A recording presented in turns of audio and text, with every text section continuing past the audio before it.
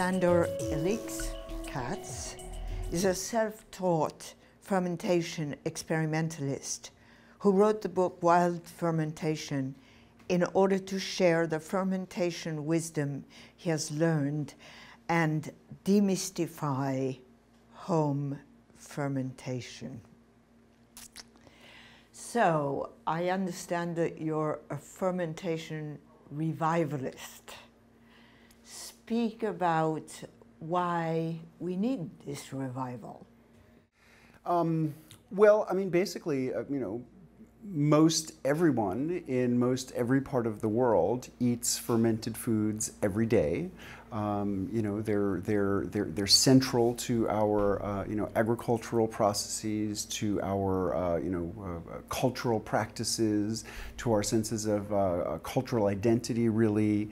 Um, but like all aspects of food production, they have largely disappeared behind factory doors. Um, so whereas, you know, up until about 75 years ago, fermentation was just part of uh, um, uh, what was practiced in every household in every community, um, uh, people have really lost touch with it. And at the same time, uh, uh, we have developed a, a, huge cultural fear of bacteria, what I call the war on bacteria, and the indoctrination that we all receive that bacteria are dangerous, that our lives would somehow be better if we could eradicate all bacteria. But as a result of this, people have developed the idea uh, in, in very short time that uh, you know, fermentation is a potentially dangerous uh, um, uh, process that is best left to experts and uh, allowed to happen um, in laboratories and factories. So I'm just interested in, uh, you know, as, as part of a broader project of reclaiming food, in helping to, you know, empower people to reclaim uh, these important practices that give us, you know, beer, wine, bread, cheese, salami, uh, all the condiments we love to eat. Um, and uh, you know really are very important to uh, you know how people have historically preserved food before the advent of refrigeration. So are probiotics a big part of uh, what one receives in eating fermented foods? Sure. Uh, not every fermented food contains probiotics. Uh, uh, for the most part, those are the bacterially fermented foods that are not cooked after their fermentation. Um, so some examples of uh, probiotic traditional fermented foods would be uh, yogurt, kefir, uh, and cheeses um, uh, sauerkraut, kimchi, um, uh, kombucha, uh, kvass, uh, mabi, uh, tepache, and a vast array of lightly fermented beverages that people around the world enjoy. Um, so yeah, I mean these these uh, you know foods, particularly those with lactic acid bacteria, uh, you know, intact, not destroyed by heat, uh, absolutely are probiotic and, um, you know, stimulate us in many ways, enabling us to digest our food better, assimilate more nutrients from our food, um, but they also contribute to our immune functioning and our ability just to stay healthy and be resilient. So it, it's understood now that uh, we have many brains, but we might have a brain in in our head and a brain in our heart and a, a brain in our tummy. So I would see you as taking care of the brain, stimulating by your work, the brain in our tummy, the brain in the gut, which is really important. Um, yeah, absolutely. The, the, the, brain in the gut uh, is, uh, is, is very uh, well stimulated by the, by the foods with live cultures, but there really is an interconnection between all of these brains. And uh, you know, just this year, some new research has uh, uh, you know, begin to, begun to reveal that um, you know, the chemistry in our, the brain in our head is actually regulated by the bacteria in our gut. So the, you know, the, the release of serotonin and other uh, brain chemicals, you know, actually is mediated by bacteria in the gut. So, I mean, we're really just beginning to, uh, you know, understand how absolutely essential to every aspect of our physiological functioning uh, the bacteria in our gut are, uh, you know, and yet they're under constant assault. You know, in this war on bacteria, our bodies are a battlefield. And so, you know, antibiotic drugs, um, uh, you know, antibacterial cleansing products, um, chlorine in the water, the accumulation of antibiotic chemicals in the water. Uh, you know, we, you know, the, the, the microorganisms in our intestines are under constant assault. And so it's become much more important for us in the 21st century than it's ever been for people in the past to really consciously replenish and diversify uh, the gut bacteria. And one way people do it is with little capsules. Uh, uh, you know, the, those are the ones marketed as probiotics. But you know, really a much a much more effective way of doing it is by incorporating a diversity of uh, foods with live bacterial cultures uh, into our diets and eating these regularly. And they just happen to be, um, you know, some of the you know most delicious foods that are the you know highest achievements of culinary traditions all around the world. I just have to know how. What, what was your portal into becoming a fermentation fermentationist? Well, I, basically, um, uh, 20 years ago, I moved from New York City to rural Tennessee and I started keeping a garden. And I was such a naive city kid that it didn't even occur to me that all of the cabbage would be ready at the same time.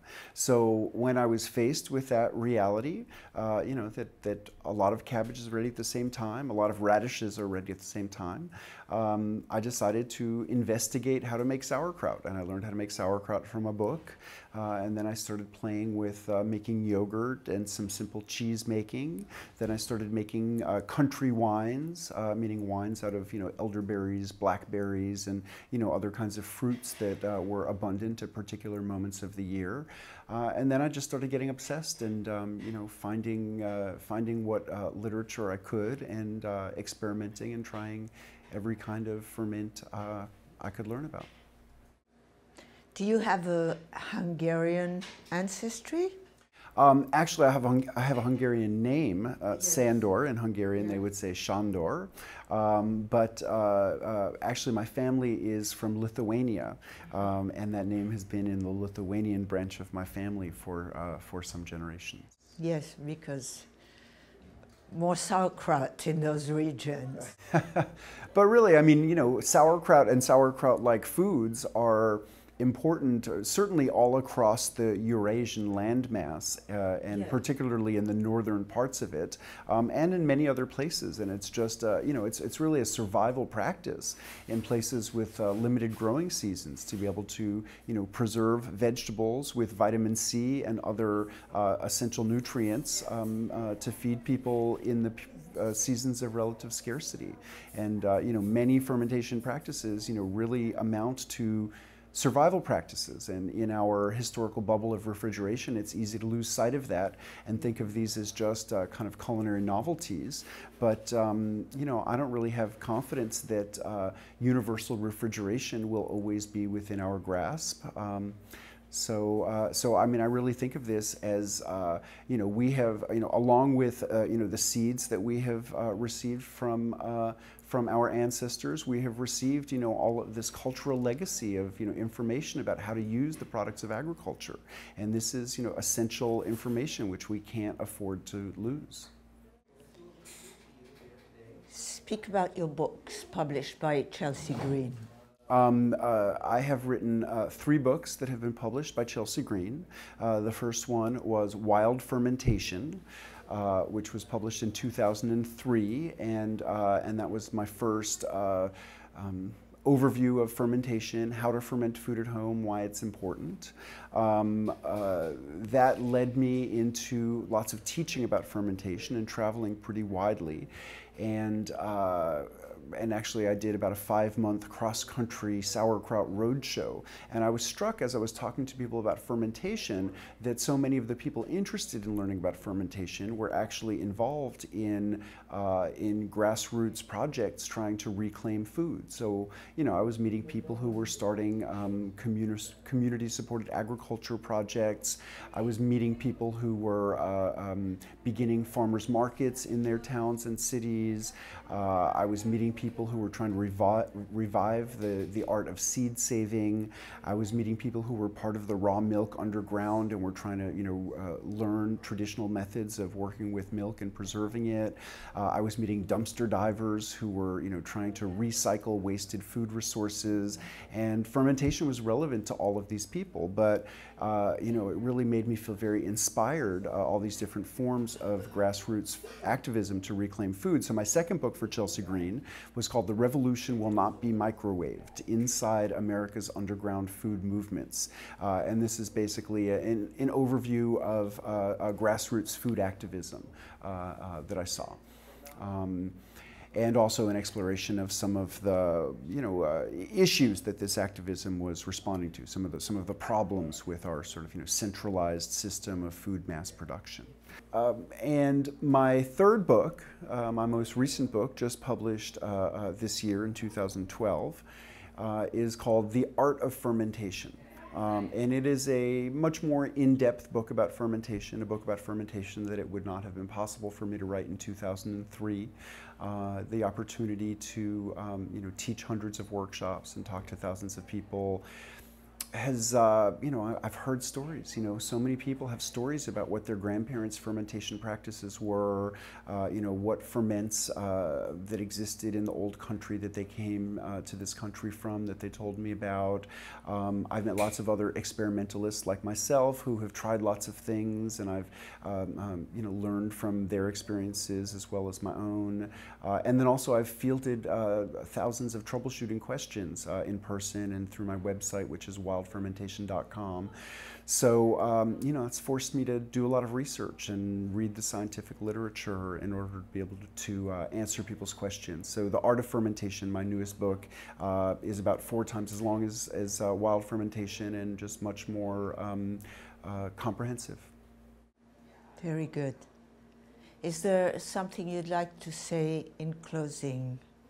Um, yeah, sure. I mean, if I if I were to sort of you know distill the message that I've been trying to spread, uh, you know, sort of beyond the joys of making sauerkraut in your own kitchen, it's that we really have to um, abandon this misguided idea that bacteria are our enemies. Um, you know, bacteria are our ancestors, and uh, you know, really the biological imperative is to coexist with them. And the fermentation arts really are human cultural manifestations of this uh, biological imperative. Beautiful. Yes. So transformation, not exclusion. Yes. Yes. Thank you very much, Sandor. Thank you. It's my pleasure.